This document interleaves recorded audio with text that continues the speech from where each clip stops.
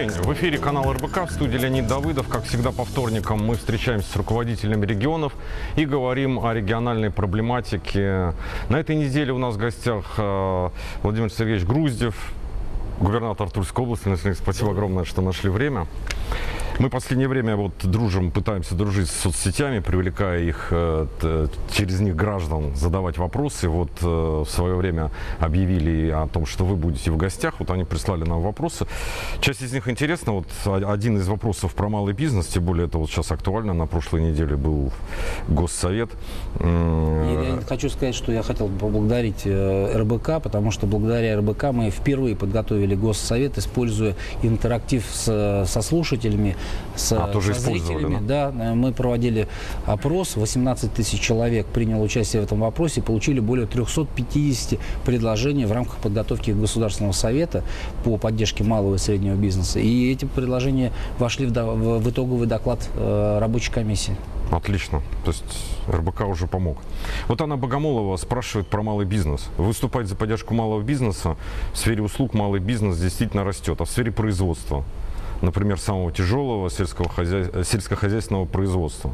И еще у нее вопрос по поводу того, что в Туле есть известный бренд «Тульский пряник», ему больше 300 лет, появляются ли новые бренды и будут ли появляться? Бренды, безусловно, появляются, хотя сам по себе тульский пряник, э, он Э, действительно больше, чем 500 лет. И сегодня ну, тульский праздник, он известен во всем мире. Э, очень известный бренд «Белевская пастила». Вы в любом магазине Москвы можете купить. Это как раз э, настоящая пастила, которая делается из яблока Антоновски, которая растет в Тульской области. А что касается в целом, конечно, поддержки малого и среднего бизнеса, ну, тема очень обширная, очень обстоятельная. Но и задачи, которые стоят перед правительством, регионами, главами регионов, эта задача, конечно, очень важна важно э, увеличить вклад в валовой национальный продукт с 20% ну, до 50%.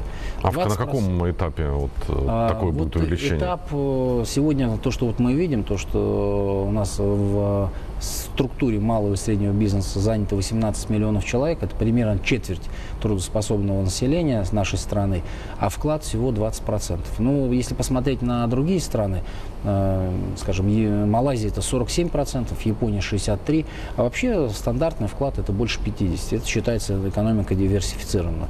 Вклад наших крупных компаний сегодня 80%. Поэтому, конечно, та политика, которая реализуется, она не, э, к сожалению, на сегодняшний день не поддерживает и не создает предпосылки для развития малого и среднего бизнеса.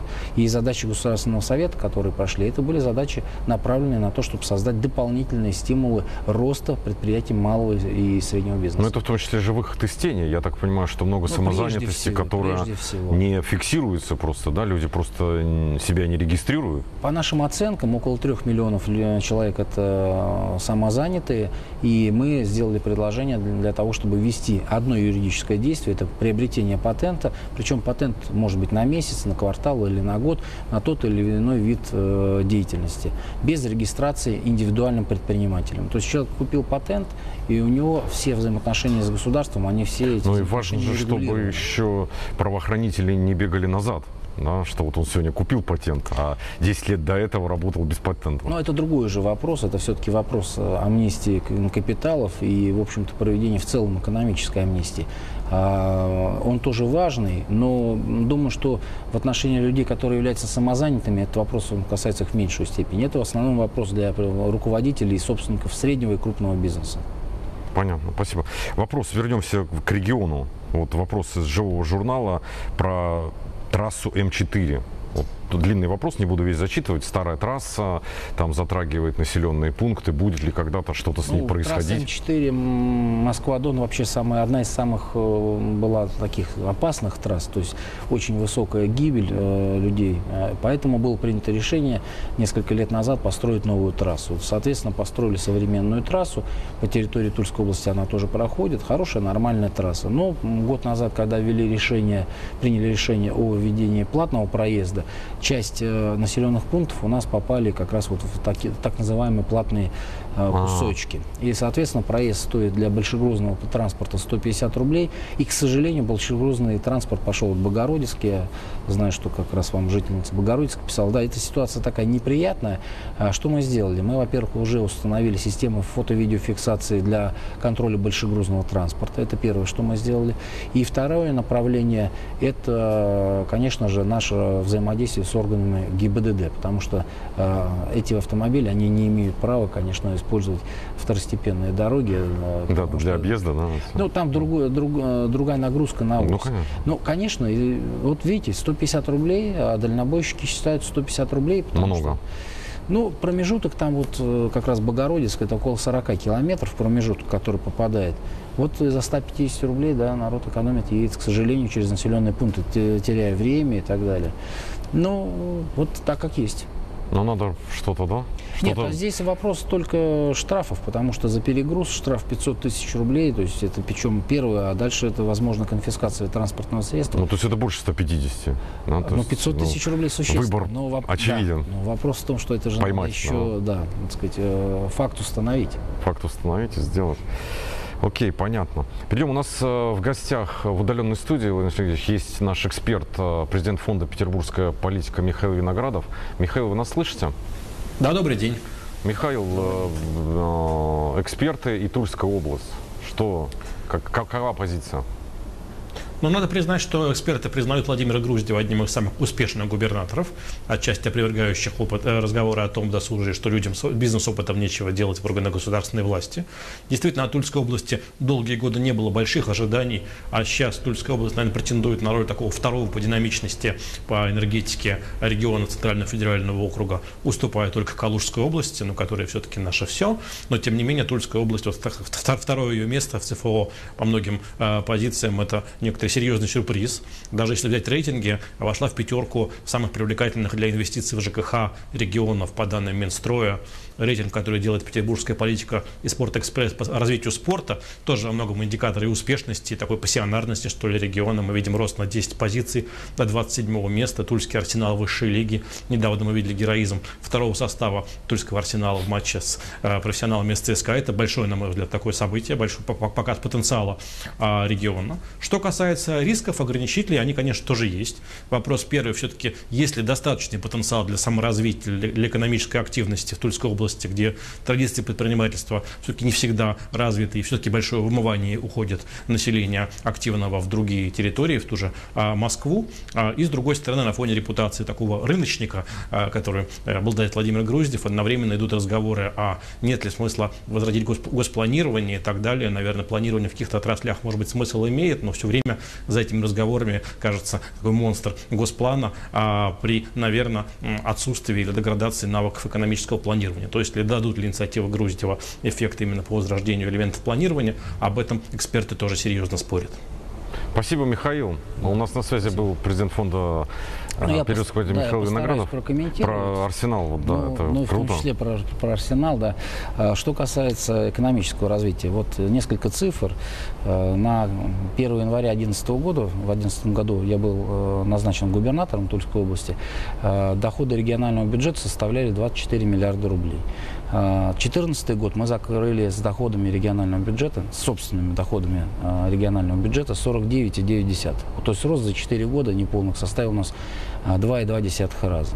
Что касается консолидированного бюджета, включая бюджеты муниципалитетов, то он вырос с 34 миллиардов до 63,5 миллиардов. Это собственные налоговые и неналоговые доходы региона и муниципалитета. За этот же период э, наш э, валовой региональный продукт вырос на 52%. И из последнего э, доходы э, первого квартала 2015 посмотрим года слайды, да. а, составили, превысили а, доходы первого квартала 2014 года на 30%.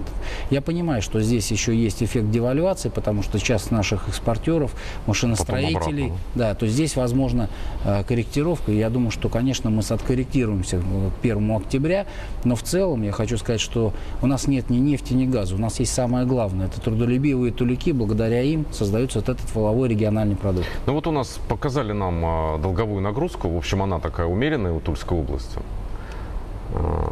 Мы будем, ее, 32%. мы будем ее снижать, несмотря на то, что у нас на Может, сегодняшний не надо снижать-то? Надо, Я может, объясню. тратить это на Нет, развитие? объясню.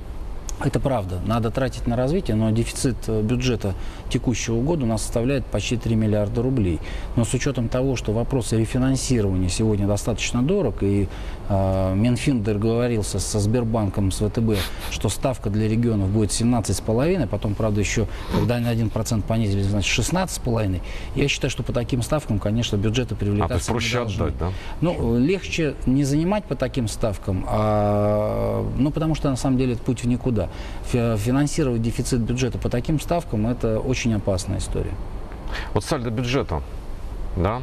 То есть такая, ну и прогноз такой, да, Ну, какой-то вот как прогноз такой с запасом, да, что... То есть 2015 год – это вот как раз 3 миллиарда, которые сегодня находятся у нас э, в, в текущем бюджете, но мы предложим все усилия для того, чтобы, так сказать, э, ориентироваться на бездефицитный бюджет 2015 года. Но 2016 год будем дальше смотреть ближе э, к тому, как будет развиваться и экономика, какая будет стоимость денег, как себя будет чувствовать предприниматели, бизнес, потому что мы э, все равно и на региональном уровне планируем поддержать наших предпринимателей.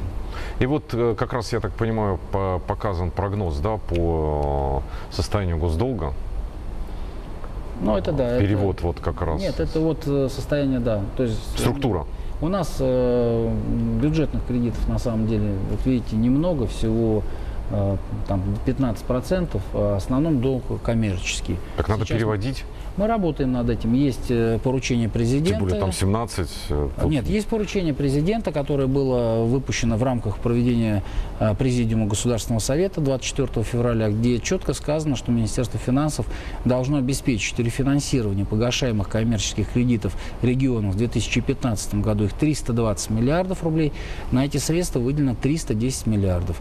А, Соответственно, 160 миллиардов в текущем бюджете и поправки в бюджет, которые сейчас будут приняты, они добавят еще 150. Итого 310 миллиардов должны полностью пойти на рефинансирование Ну, погашаемых долгов. вам удастся полностью Нет, у меня- рефинансировать у меня, или этом, нет? у меня в этом году рефинансируется 3 а, целых 3 миллиарда 200 миллионов рублей. Соответственно, на эту сумму мы и ориентируемся получить Ну, а, бюджетный кредит. Можно понять сэкономленные проценты. да? Сэкономленные проценты, ну, по какой ставке сейчас считать? У нас сегодня ставка 8%, по которой мы сегодня обслуживаем Ага. свой долг. Поэтому, ну, не все равно Ну, это, да. ну, какая 17 разница? было бы интереснее. Ну, слушайте, но все равно это 250 миллионов рублей, это существенная экономия для регионального бюджета. Это те деньги, которые мы можем направить на э, какие-то программы, программы благоустройства, выполнение указов президента, а в том числе инвестиционные программы. Потому что, к сожалению, инвестиционные программы текущего года, они у нас э, Сожмутся, да? сожмутся, да. Вот э, мы год назад, когда встречались э, с вами, эм, в плане подписания да, такого ра- развития еще не состоявшегося был э, вот этот китайский контракт э, Он автомобильный. остается в силе, то есть у нас наш Там есть продвижение? То что за год произошло? Парк, индустриальный парк мы э, находится в стадии реализации. Мы сегодня э, подтягиваем всю необходимую инфраструктуру, электричество, газ, дороги. То есть мы все необходимые обязательства, которые брали на себя, мы их выполняем. Планируем, что в соответствии с соглашением май-июнь китайцы должны выйти на, соответственно, на площадку. Сейчас э, проект э, готовится для передачи в государственную экспертизу. А когда будет автомобиль? Но ничего не меняется, 17 год. Для 17. китайцев сейчас очень хорошее время, потому Ниша, да, что такое. отличная ниша, потому что сейчас автомобильная отрасль испытывает серьезные Американцы сложности. уходят, пора Ну, приходить. не только американцы уходят. Вообще, все, что касается дешевого сегмента, там, где как раз а, китайский производитель планирует конкурировать, там существенные возможности на сегодняшний день. И здесь, чем позже они зайдут, тем меньше шансов у них. Ну и, со- соответственно, чем раньше за- зайдут, тем больше шансов на а, расширение инвестиций и на расширение продаж. Ну что, про тяжелую промышленность. Что с оборонкой? Как вот э, в этих С условиях? э, я хочу сказать, что оборонка это тот э, конек, который был всегда исторический в Тульской области. В 2011 году, когда мы как раз занимались вопросами расширения площадок наших оборонно-промышленных предприятий, мы много помогли. И вот сегодня мы как раз пожинаем плоды, потому что все, да? да, все 35 наших оборонно-промышленных предприятий, которые работали в Тульской области, ни одно, там несколько предприятий находились в состоянии, ну, скажем, подошли к процедуре банкротства, мы смогли этим предприятиям помочь, оказать поддержку заказами и так далее. И на сегодняшний день все 35 предприятий загружены, и э, рост заказов на 2015 год в среднем на 40% превышает 2014 год. Похожая тенденция и остается и на 2016 Ну, год. как бы хорошо, есть, да, как э, и повезло. более- а? Нет, это не повезло. Ну, я в Это- хорошем смысле. это нет, это, это была работа, когда мы в 2011 году, совершенно была другая ситуация. Конечно. И в Министерстве обороны, если вы помните, оружейники были загнаны в угол, и одно из первых совещаний, которое мы а, провели совместно с Борисом Грызловым на территории Тульской области, это как раз совещание, посвященное оборонке. Те решения, которые были тогда приняты, они реализованы, и сегодня эти решения дают э, результат, в том числе и в виде поступления дополнительных налогов в бюджеты Ну, то есть вы были готовы к вот к, Мы- к тому, что заказов Я будет могу, больше. хочу, да? могу Потому что их обслужить же надо, да? Если- Могу привести пример, э, очень такой показательный. Вот одно из изделий, которое очень популярное, это зенитно-ракетный комплекс «Панцирь», который пользуется сегодня популярностью. Э, вот в 2011 году он не стоял даже на вооружении. И благодаря тому, что Сергей Шойгу приш- пришел в Министерство обороны, возглавил это ведомство, в 2012 году нам удалось поставить его на вооружение. Сегодня на, этот, на это изделие мы имеем большой заказ, в том числе государственный оборонный заказ, и продажи расписаны до 2022 года. Но хочу сказать, что основной заказчик все равно не Российская Федерация. Ну, это хорошо. Это хорошо. Это хорошо, да. Бюджет, бюджет хорошо, Но это хорошее и хорошее изделие. а чужой бюджет Следующее еще мы лучше. сейчас изделие, вы увидите нашу новую продукцию на Параде Победы. Э, Вы увидите наше новое изделие БМД-4. Это Мгм. боевая машина, машина десанта. Мы изготовили 4 машины, как раз, которые будут участвовать в параде. Наконец-то там сменится, да? То есть новое поколение Ну, мы придет. надеемся, да, мы надеемся, что м, э, Тем более, что этого же надо много, да, чтобы перевооружить там. Ну, Заказ на самом надолго. деле возможность не, не только перевооружения, но и модернизации существующей техники. Поэтому ну, мы сегодня видим, что э, и воздушно-десантные войска, и сухопутные войска должны иметь хорошую защиту, хорошую, хорошую технику. Про еду. Село, вот? село. Вот помните, вот был Село как раз мы вопрос. зацикливаем, да, На самом закольцуем. деле хочу, вот. хочу сказать, село это наш конек, в том числе, как и оружейное производство, потому что в прошлом году мы собрали миллион пятьсот тридцать тысяч тонн э, зерна, это по одной тонне на каждого жителя Сколько области. потеряли?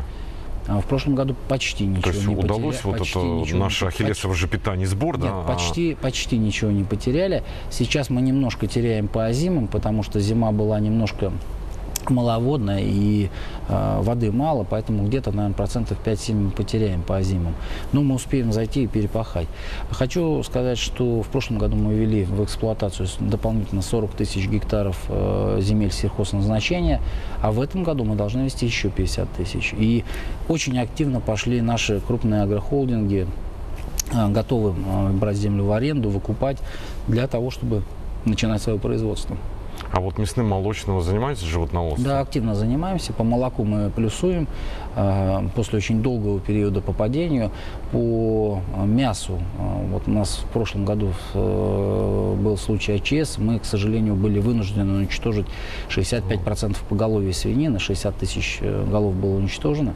У нас есть план, который мы начали реализовать в этом году по возвращению, и в следующем году мы увидим существенный прирост. Начало стартов в этом году. Ну, тем более есть Москва, да, есть куда это все, У все нас время. э, по свинине вообще дефицит на самом деле. То есть у нас по стране, когда вот Михаил говорил о госплане, я почему говорю о госплане, А, не должно быть, э, должно быть планирование потре- потребления. Вот по свинине 4 миллиона тонн Россия потребляет, 3 миллиона мы производим. Миллион это то, что импортируется, либо замещается чем-то другим. Поэтому, когда мы говорим о государственном планировании, нужно смотреть, в каких регионах размещать те площадки, которые будут, э, где будет более короткое плечо доставки. Поэтому элементы госплана, особенно для крупных инфраструктурных проектов, они обязательно Ну, да, на объемах, да, где там ну и потом- экономика, да, экономия потом будет сразу посмотрите, когда мы говорим о эффекте Калуги, это, это же не только успех Анатолия Дмитриевича Артамонова, но это же была задача, которую реализовал э, Герман Греф, будучи министром экономического развития. Он же как раз и выбирал несколько площадок, где, разместить. То есть это была выбрана, э, потому что в Ленинградской области на тот момент уже были площадки по производству автомобилей, и, скажем, Калуга рассматривались как альтернативная площадка для того, чтобы диверсифицировать и Владимир экономику, Сергеевич, нам- и потребление. Придется прощаться с вами в этот раз. Спасибо. Ждем вас, ждем вам Спасибо. дальше успехов. Спасибо. Спасибо. огромное. У нас в гостях был Владимир Сергеевич Груздев, губернатор Тульской области. Мы прощаемся с вами. Всего вам доброго. До свидания.